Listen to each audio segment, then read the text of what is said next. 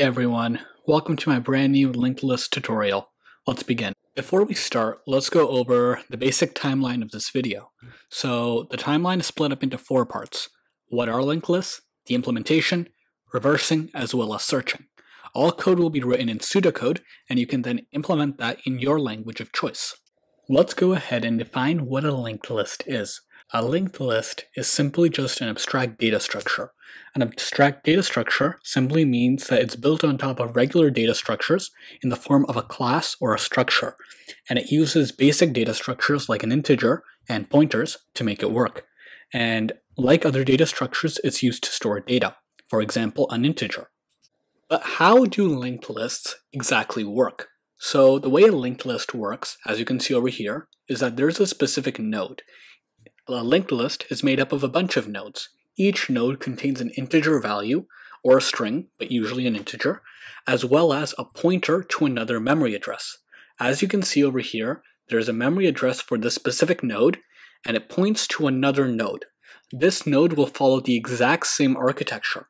However, in the scenario of which there is no next node, it's going to remain as null. And if there is a node that isn't that is at the top we call that the head node.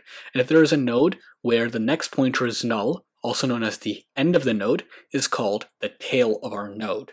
In order to implement your own linked list in your language, make a class or a struct, and simply have the two parameters of an integer as well as a next node, which is simply just going to be the same uh, data type as the struct or the class. And boom, we've now created our very own linked list. Now it's time for the million dollar question. How do you reverse a linked list? For this question, let's go ahead and assume we have a linked list with 1 pointing to 2, 2 to 3, and then 3 to null. How can we go ahead and reverse this in the other way? The three things that we're going to want to do first is make three nodes. We're going to make a node for current node, the previous node, and the next node. Now initially these values for the previous and next node will be null. So the first thing you will do is go ahead and take our current node and point it to the next node. After that, what you're going to do is take your next node and point it to the previous node. By doing so, we point our second node to our first node. After that, point the previous node to the current value of the node. By doing so, we've now reversed it so that point node 2 points to node 1.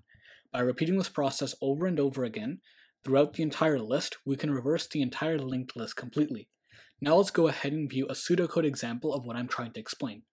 The first thing we're going to want to do is go ahead and create three variables. Current node, which will initially point to our head node, the previous node, which is for now null, and the next node, which is also null. The next thing we're going to do is create a while loop in which the current value of the node cannot be null.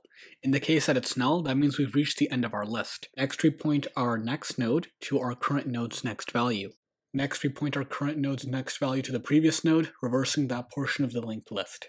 Then we point our previous node to our current node and our current node to the next node, and boom, after doing this over and over again, you will be reversing the entire linked list. If you want to view the head node, the new head node will be your previous node, and the time complexity of this is simply just O of n, as it uses up the entire size of your linked list. Now, how can we go ahead and search a value within a linked list? Considering we've already learned how to reverse it, this shouldn't be too hard. So let's suppose we take our previous linked list, and suppose we need to figure out the value of 2. We're simply just going to go ahead and take our current node and see if that's the value of 2. If it's not, we'll set it to the next node. And we're also going to make sure that the value of the current node isn't null, and if it is null, that means that the value simply just does not exist. So the time complexity overall is just going to be O of n, where n is the number of nodes. This is because in the worst case scenario, you're going to have to look through every single node. Now let's go ahead and see a coding implementation of what I'm talking about. The first thing we're going to want to do is create a current node, which will be equal to the head of the linked list, as well as a number to search for.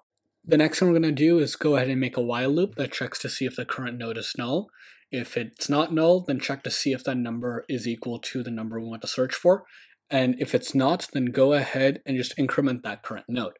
And boom, that's how you search within a linked list. This concludes our video regarding linked lists. Thank you guys for watching. If you guys have any questions, leave them in the comments below.